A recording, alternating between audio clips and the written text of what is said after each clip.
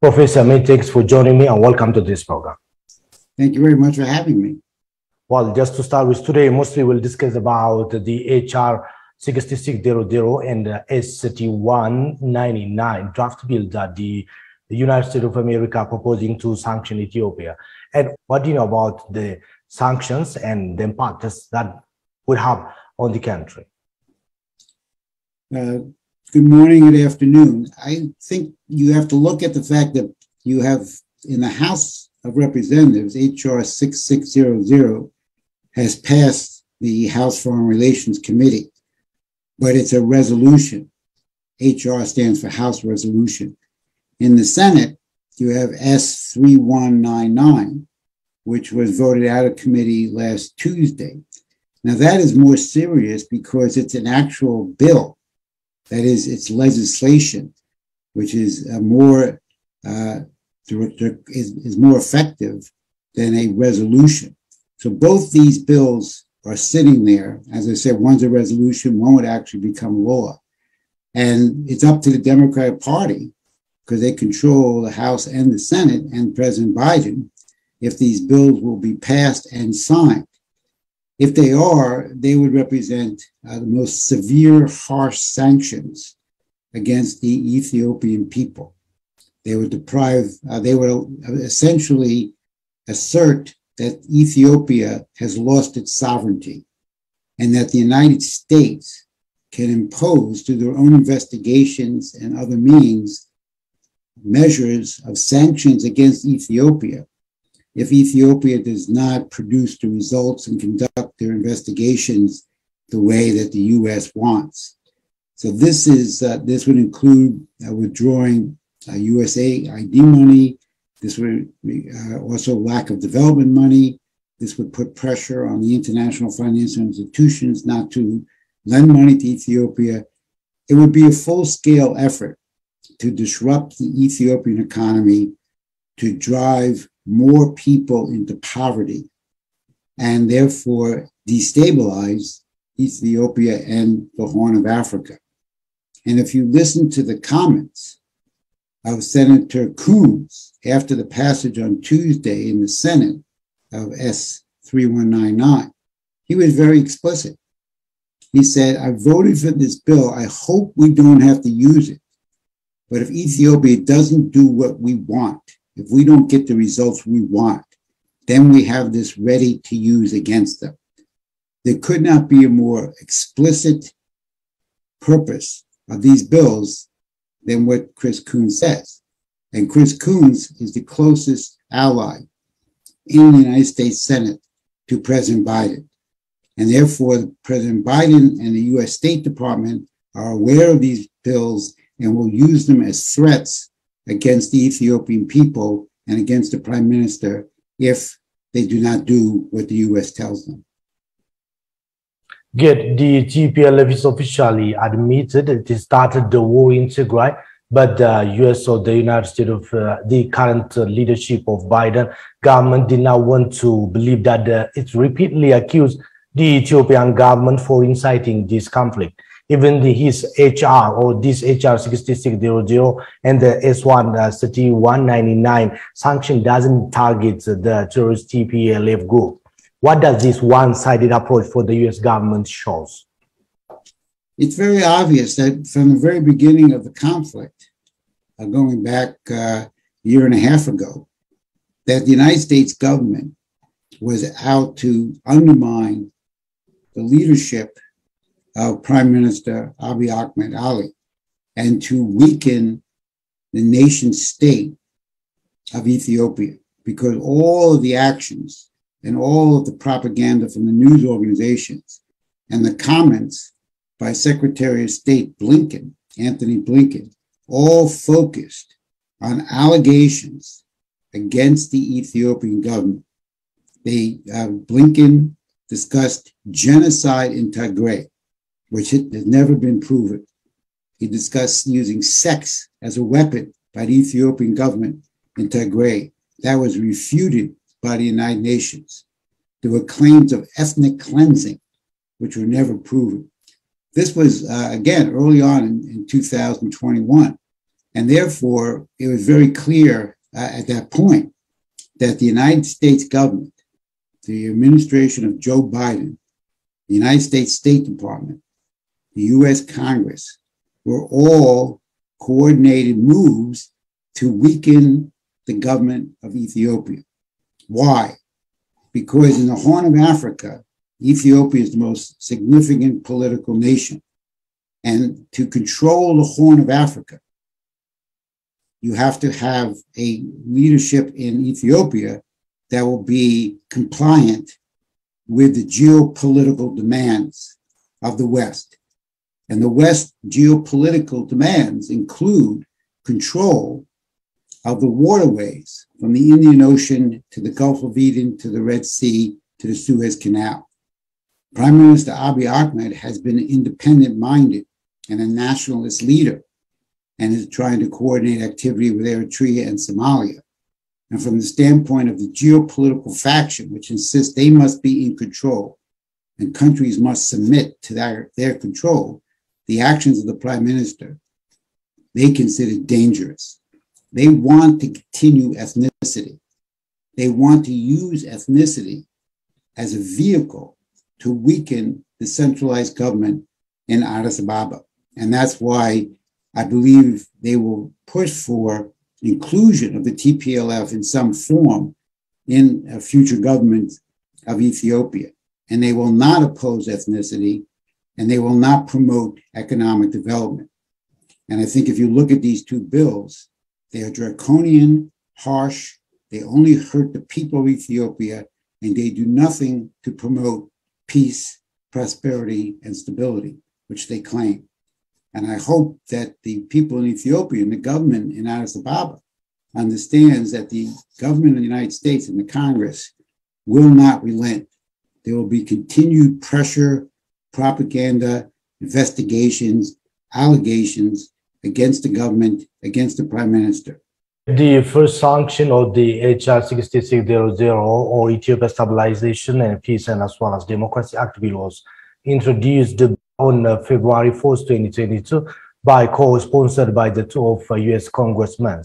And if enacted, it authorized sanction against those who are uh, perpetuating the conflict and suspended security as well as financial assistance to the Ethiopian government.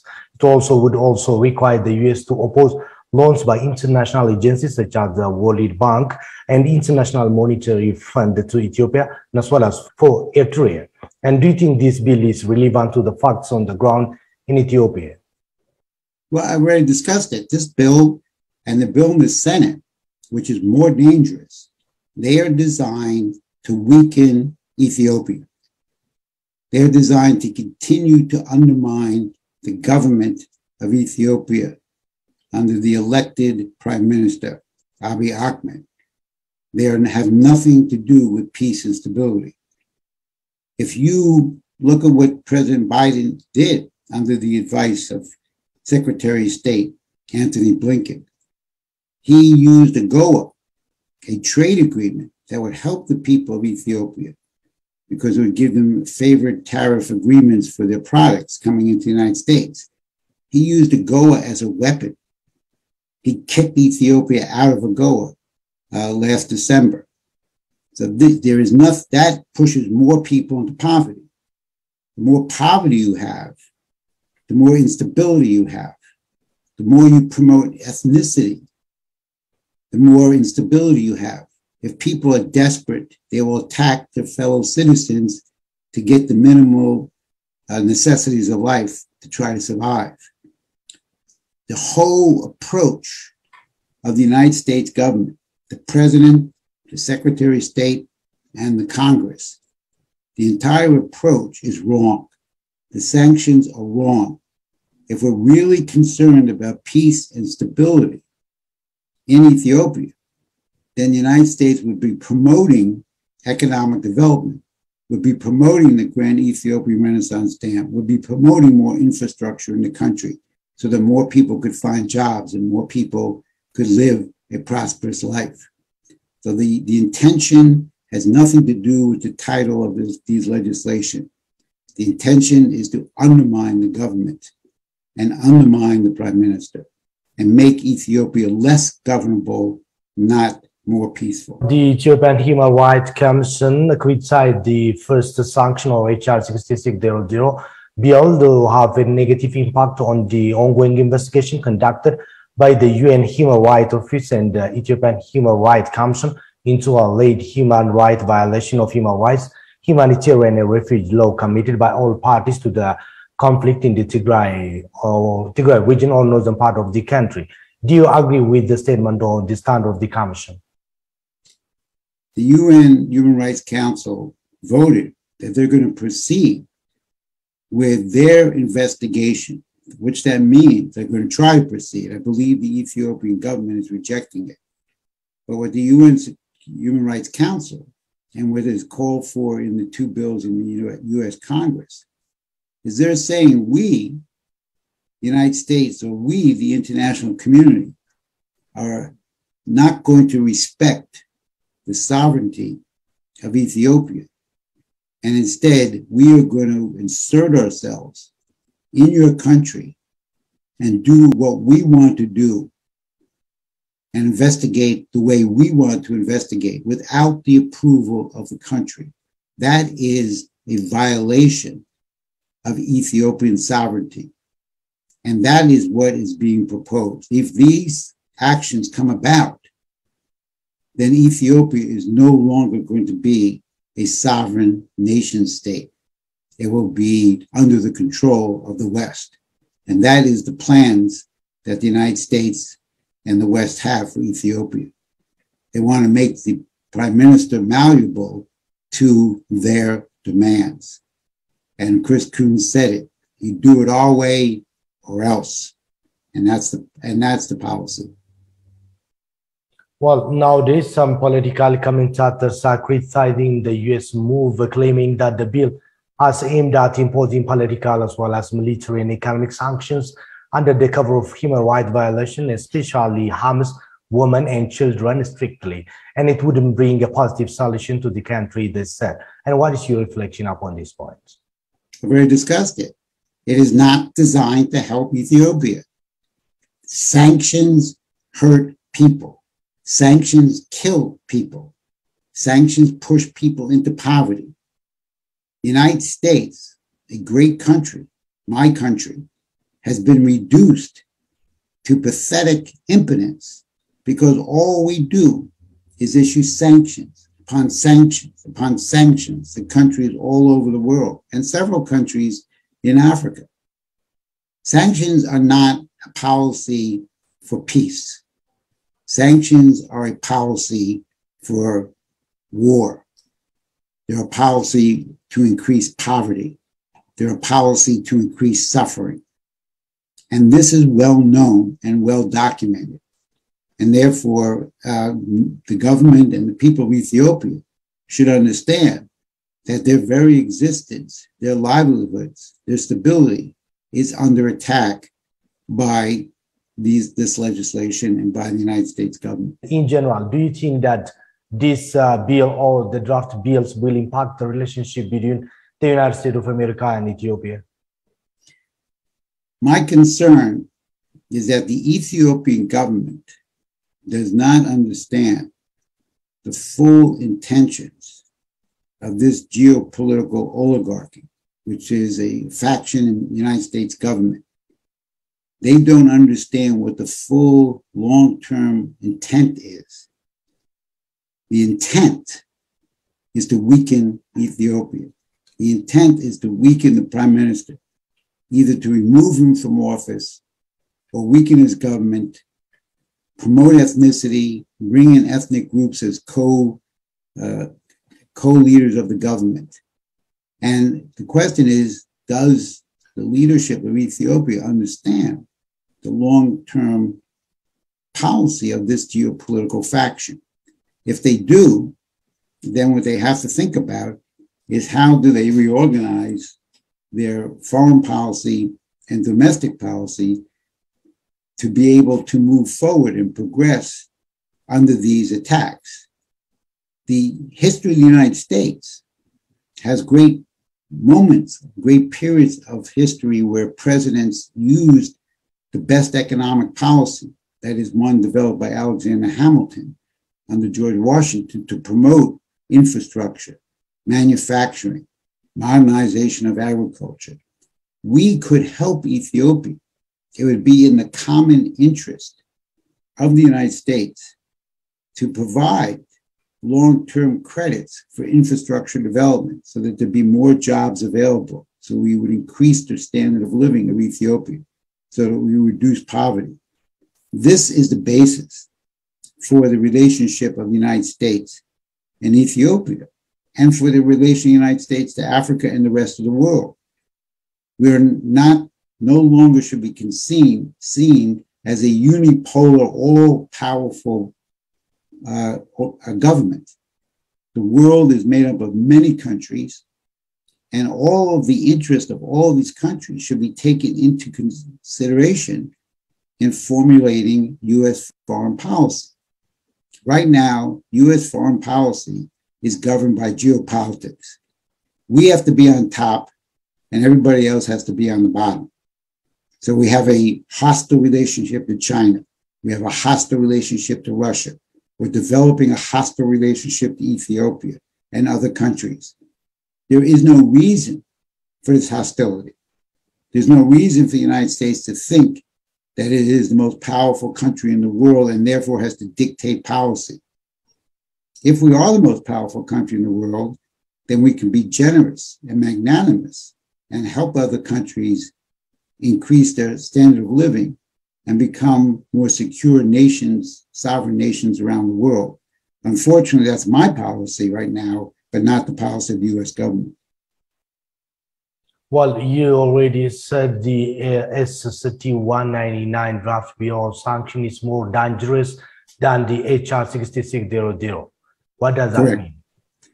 Well, in the United States, we have resolutions which are passed by it both has to be passed by both the House and the Senate and signed by the president. But a resolution is a recommendation. Uh, the S 3199 is an act. Therefore, it's actual legislation. And if it's passed by this full Senate, which it hasn't, and then has to go to the House, and then it has to be signed by the president, then it becomes law. A resolution is advisory. An act or a bill is actual law. And 3199 is as harsh or harsher, but equivalent to HR 6600, but it would force the United States to become law. If you read the comments from Senator Coons, who's on that committee, the Senate Foreign Relations Committee, and who voted up the bill, he was very explicit. He said, if Ethiopia does what we want, this bill law will not progress, will not get voted on or passed. If Ethiopia doesn't do what we want, what we say, then we will bring it up to be passed and turned into law. Now, some people think that there's a disagreement between the presidency and the Congress on the question of Ethiopia. I do not think there's a disagreement. I don't think Chris Coons, who is the first envoy sent to Ethiopia uh, early last year on behalf of President Biden, would be taking these actions against Ethiopia and threatening Ethiopia if, in fact, Biden, the president, disapproved of them. So I, I think the Ethiopian government should understand the full implications of what the policy is coming from the United States Congress and the executive office and administration of President Joe Biden. Well, the bill has drawn condemnation from the Ethiopian government and supporters in the global diaspora, including the Ethiopian diaspora community living in different parts of the world.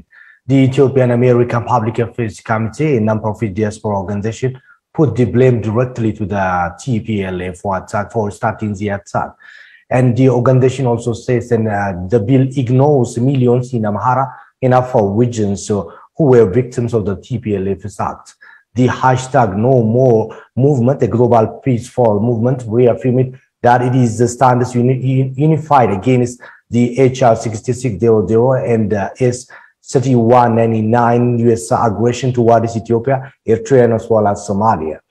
And this, this, these movements are being called the Ethiopian diaspora community to organize and mass release to across the globe in the protest in the HR 6600 and the other one, the S31 uh, 99 draft bills under the motto no more HR 6600 and S3199. What is your reflection upon this? And for the future, what should be done to stop this uh, action?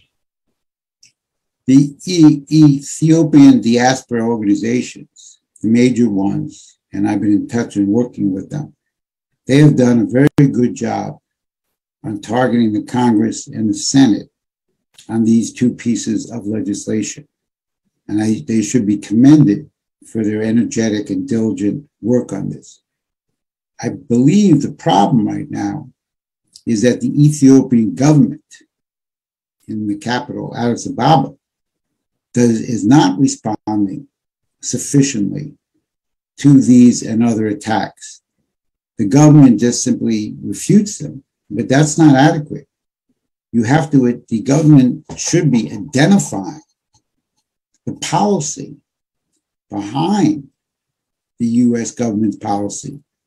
The Addis Ababa government has not issued strong enough statements criticizing and identifying this geopolitical policy of the Biden administration.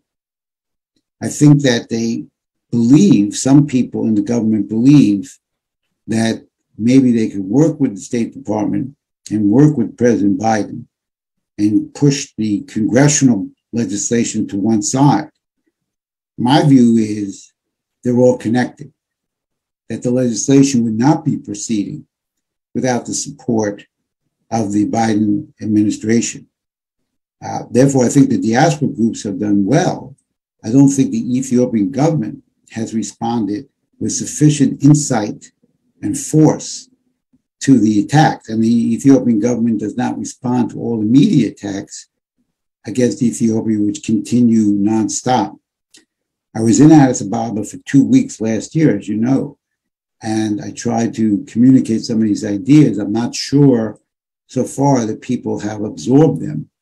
Uh, I'm off, I'm willing to collaborate, but I think that the government has to uh, improve its uh, understanding of how international politics works and the full intent behind the geopolitical establishment here in Washington and in Europe. And therefore, if they did, they could respond better. Good. For the future, what do you think should the Ethiopian government and people do to counter such unfair interference of the US or the United States of government in, in internal affairs of the country? First thing you have to do you have to think of this as political warfare. The military fighting on the ground looks like it's coming to an end with the truce that was just established this past week. But this is political warfare. The first thing you have to do is understand your enemy. Who and why is Ethiopia, why is Ethiopia attacked and who is attacking it? This is a crucial point in defining your policy to know who your enemy is and what is the motivation and intent of your enemy. Number two is this does not mean Ethiopia should not attempt to work with and continue a dialogue with the United States government. But at the same time, the Ethiopian government should be thinking about changes in realignment and formulate a strategy that's in the interest of the Ethiopian people. China is a reliable ally. Uh, India can be a as a reliable ally. Russia can be an ally. Of course, the conflict in Russia Ukraine prevents that at the moment. There are other countries such as Turkey. There are countries inside Africa that Ethiopia has to rethink how do we move forward in the best interest of our people? We're going to have the third filling of the Grand Ethiopian Renaissance Dam in a couple of months. That should lead to more electricity production. How do we generate the credit with our friends and allies to expand our railroad network, to expand our roads, to expand our light manufacturing industry, to give people more jobs.